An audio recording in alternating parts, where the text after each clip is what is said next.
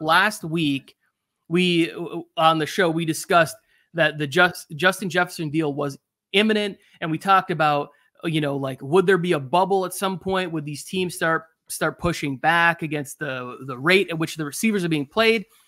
Uh, the Vikings were not pushing back because I brought up on the show. There's no way that you could tell me the Vikings were going to be the team that traded away Randy Moss, Stefon Diggs, and Justin Jefferson. All three guys, I think, are going to end up. Uh, you know, one of them's already in the Hall of Fame. These other two are, in my estimation, going to end up in the Hall of Fame.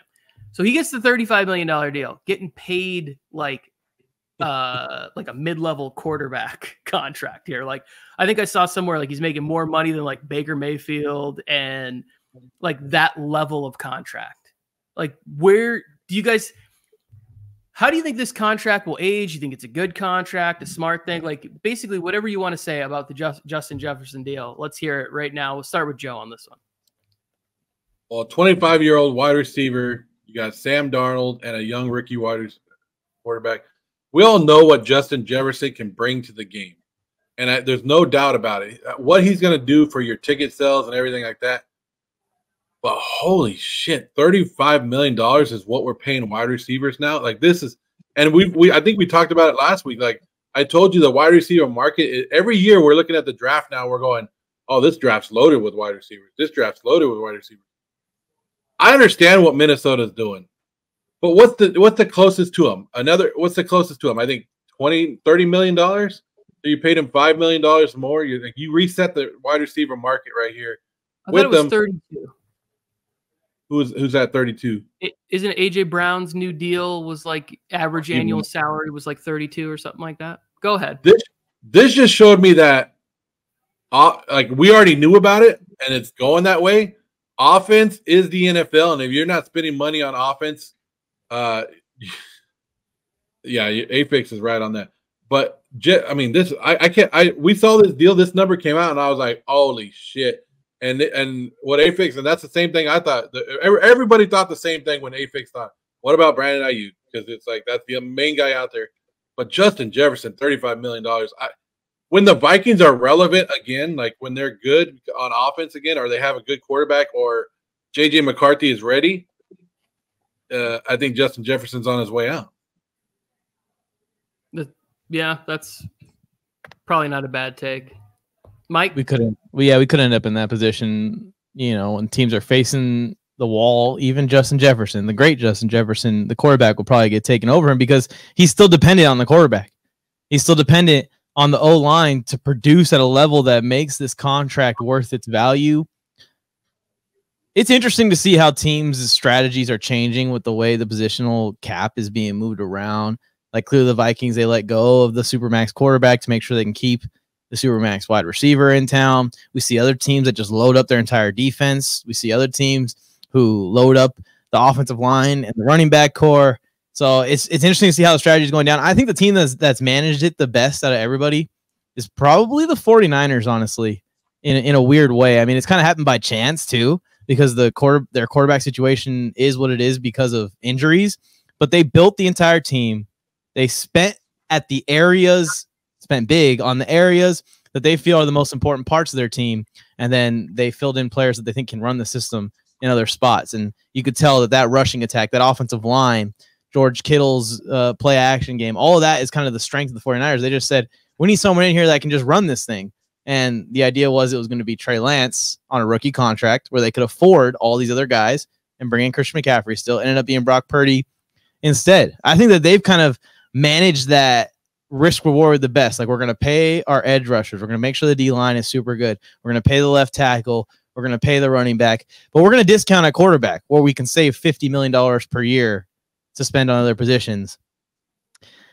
The Vikings are kind of in a spot here where they're doing something similar. They're saying, hey, Justin Jefferson's our most important player. We're going to pay for that player, even if it is this record breaking price. We're going to fill in at quarterback with a rookie quarterback and just hope that the entire offensive weapons can carry him, similar to the way that the 49ers weapons have carried 49ers quarterbacks over the last couple of years. The big problem is, even with it improving probably this year, I don't know about the Vikings defense reaching that competitive of a level in the next, you know, two years. So I think that this is the the Vikings are in the perfect spot to be paying thirty five million dollars a year, right? Like it's you. I don't. I think it's really tough the situation the Dolphins are in, where they just paid Jaylen Waddle.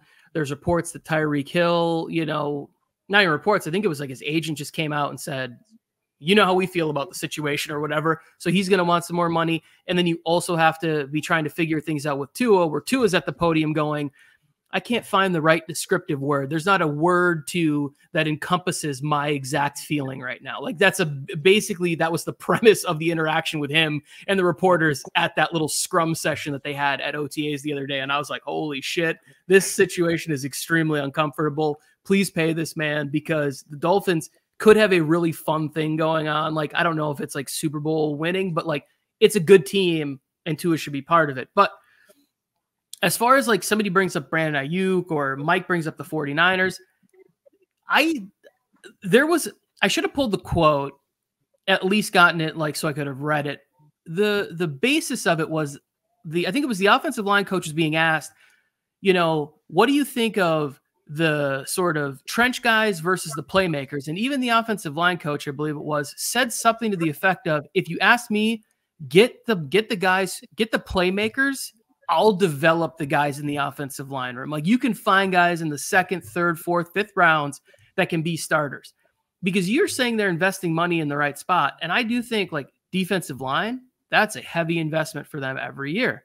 The offensive line, they kind of are like, hey, we can just get average guys, guys that you know the the draft guys aren't necessarily big on, and we can make them work in our system because Kyle Shanahan is like, I'm such a genius. We'll figure it out. But what has been the downfall of the 49ers is like when they get late in these games and people bring certain, you know, pressure packages and whatever else, it tends to affect the fact that they don't necessarily have the best offensive line or the best play call to pick up different things. They don't have those pieces that get them over that final hump. Like the Super Bowl could have went the 49ers way last year. Easy, like several spots in that moment. But now, once they, I mean, there's what 12 months, 16 months away from having to pay Brock Purdy, and they have to, unless they again stumble across somebody else and they just let Purdy go, trade him, or sign somewhere else and take the the compensatory pick. Like I don't necessarily think that they're in a position where they can sign Aiyuk and they can keep Deebo, And I think that's why they drafted a guy like Ricky Pearsall because they are trying to figure out like, hey, if we're going to keep this going, we can't be paying wide receivers. And so, you know, Brandon Aiyuk, do you you like the Steelers? Do you like do you, you know like Chargers? Are they willing to come with a contract? Like personally, I don't want the Chargers to spend on that position. I don't think that once you pay your quarterback money, it is then his job to work with sort of guys that are middle tier and for them to be drafting and developing wide receivers. That's how it should be. You shouldn't be having to pay 35 plus million dollars. And it's not like the wide receiver market. This is all non QB market. Like Justin. Jefferson passes Bosa, and it's like it's not just the wide receivers. It's like now some of these wide receivers are being the second paid, second highest paid player on a team if they don't have a franchise quarterback making $40 million a year. And to me, that's it's too much money to put in a situation where like what if JJ McCarthy and Sam Darnold can't function in the offense? Now all of a sudden you're paying $35 million and it's getting you nine win seasons every year. Like, I don't know. But See, it's the best spot. The other thing I have an issue with, Tony, is when I saw the $35 million, not Justin Jefferson could arguably be the best wide receiver in the NFL right now, right? He's probably is the best. But what sucks about the NFL is now every wide receiver, no matter what their talent is, wants more than $35 million. Like the NFL will pay an average wide receiver more than $35 million now. That's what sucks about this deal is it reset the wide receiver deal where the next wide receiver is up, right? He's gonna want that much money. And the NFL and, and that's how the NFL has been rocking. You don't even have to be the best player in your position to get best player money. And then just I, I just I'm I laugh at it. Yeah. Like, wow. The next wide receiver is up like right now, too.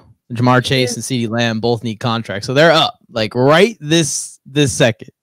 And so I, I tend to disagree with that a little bit because we've seen sort of next guys up that aren't on that level where it's like, I think there were some defensive linemen who were ready to get contracts and they didn't get Nick Bosa money. Like Chris Jones held out because he wanted Aaron Donald money. And like that was a whole big contentious thing. There were a lot of defensive tackles that were next guys up and they weren't trying to give them $30 million a year. So I think that like Justin Jefferson has entered a territory where it's different because the Cowboys are in a situation with CeeDee Lamb where it's like, if you're not going to pay Dak and you don't have the future of the position there on a team friendly deal, you could say they think Trey Lance is the next guy.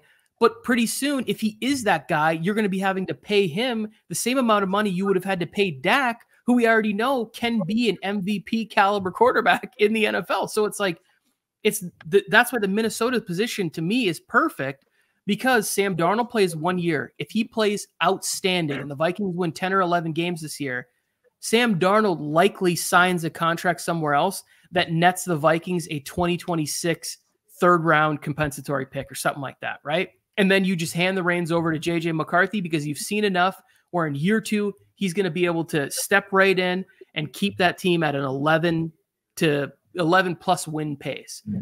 The Cowboys aren't in that situation.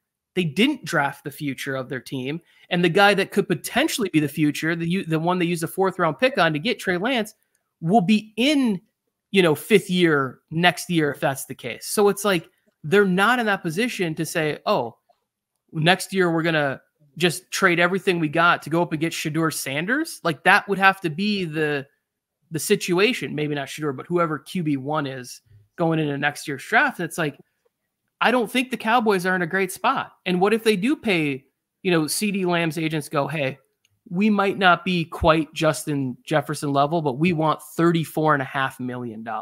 We want to be paid above Nick Bosa, just below Justin Jefferson. And then Chase goes, hey, I'm just as good. I was better than him in college. I'm better than him in the pros. I want 36 and a half. Well, Tee Higgins, it's been nice having you here in Cincinnati. We'll see you later.